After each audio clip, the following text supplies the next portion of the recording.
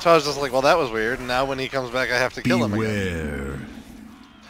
So he comes back, and I open on him immediately. Ow. What?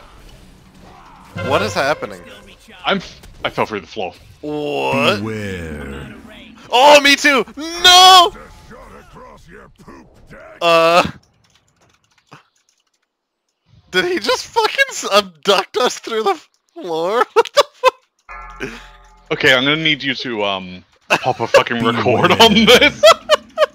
He's just fucking teleporting people and dropping them off the edge. What a fucking asshole! what the fuck just happened? Excuse me?